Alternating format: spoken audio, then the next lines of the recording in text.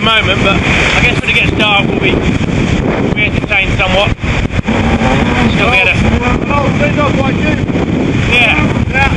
You're hanging onto the tropics as hard as you can now. I see Neal. Still running the sharks.